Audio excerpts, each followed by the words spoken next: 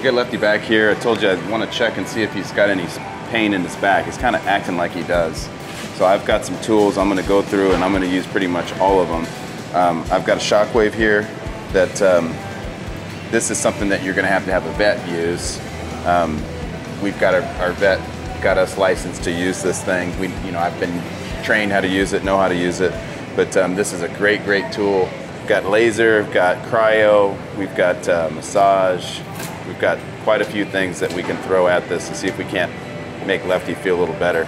So just assuming with a lead change issue that once you figure out that you know you're not sure it's a training thing, you're checking to see if their back's sore, you just take your fingers and rub it right along either side of their spine. Like you can see him reacting a little bit right there. And really reacting all across that top line. Try to do it again to repeat, but see, I'm not using my nail. That definitely acts like that bothers him. And I'm gonna take my fingers right along. Make sure you don't stand behind him so you don't get kicked. I just kind of kind of scratch him softly. You see right right about here, he acts pretty sore right there. So I kind of got a target on what I can go try to work on. It's right here. And that's what my shockwave's so good for, and my laser, cryo, all these things I have are really good for this. Is it a cold laser?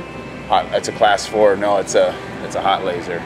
It, I can turn it down, but it's it's a high power. It's a high power deal, and it just and I'll do that. I'll do that before. I'll do the laser before we go to ride him, because that'll kind of warm the back up. I'm gonna hit him with this. Uh, I'm gonna hit him with the shockwave right now, though.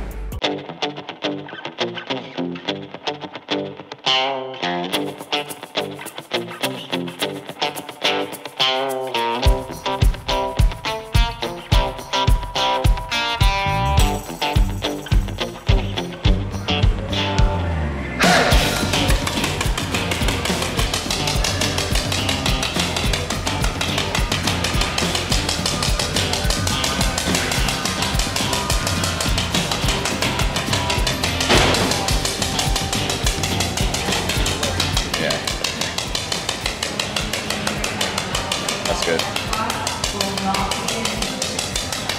I'm gonna hit him with this, finish the shockwave. I'm gonna hit him with the cryotherapy. Try to quiet this back down and then before Janice gets on, we'll hit him with the laser and the massage to kind of wake that back up and kind of get it warmed up and ready. I think he likes it.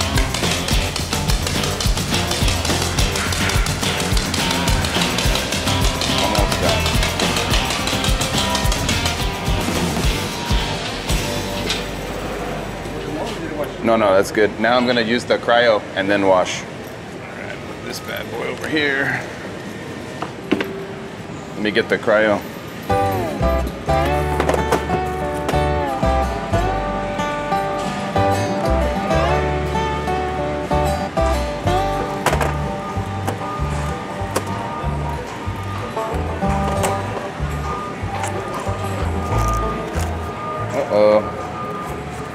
Don't have the little green one.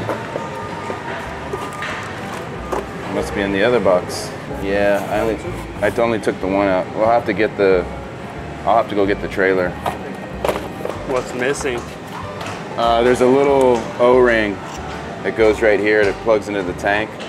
That uh, we've got two of these cryo guns, and the other one's in the trailer, so we'll have to run back and grab that. And just come back and hit it. This is a really cool tool here. What does it do? Just like super freezes? Yep. Like real specific spots? Specific, just blows right on a certain spot. So we'll cool that back down. So I hit the shock wave. That um, that's sound waves. It's gonna it's gonna stimulate the body's blood flow. There's a you can dive into as deep as you want as to what it does at a cellular level. Blah blah blah. But uh, it's got an analgesic effect as well. Then I'm gonna hit it with the cryo just to try to get that inflammation down, cool that back down. Then when we go to warm him up, or when we go to saddle him, I'll hit him with the laser, hot laser, that's gonna warm everything up, um, those muscles up, and then hit him with this uh, equi massager that uh, we got just a one people use and uh, hit those muscles and then get on and then go trot him a bunch and that should be that's about all we can do to try to help that back warm up. I think that's what's going on but we don't know till we get on and uh, and, and try it and see